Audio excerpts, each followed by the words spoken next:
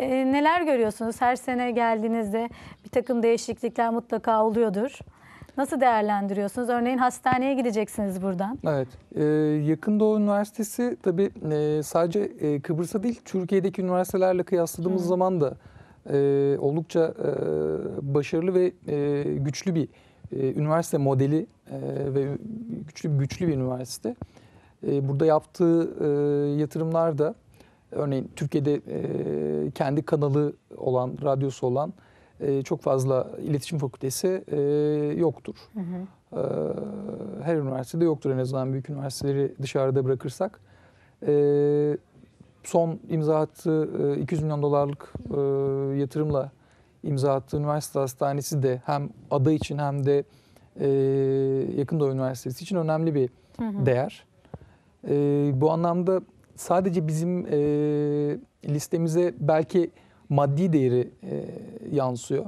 E, parasal Evet. olarak bunların değerini e, yer veriyoruz Hı hı. çalışmamızda ama tabii bunların yarattığı değer çok daha e, çok daha büyük. Evet. E, özellikle Kıbrıs için Hı hı. e, çok daha büyük Hı hı. bir değer ürettiğini söylemek mümkün. Evet. E, siz bugün e, geldiniz, Kıbrıs'a geldiniz.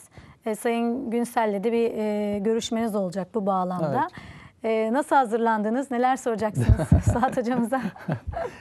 Ee, neler soracağım aslında e, e, hem Yakın Doğu Üniversitesi'ni artık dediğiniz gibi e, biliyorum. E, e, Sayın Günsel'i de e, birkaç defa görüşme fırsatım oldu ve e, hem girişimcilik hikayesini e, hem de Yakın Doğu Üniversitesi'ni e, yaratma hikayesini e, yakından biliyorum esasında.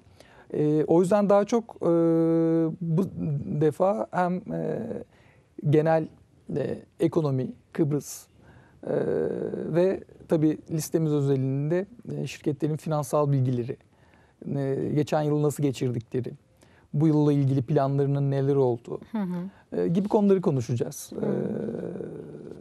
bugün.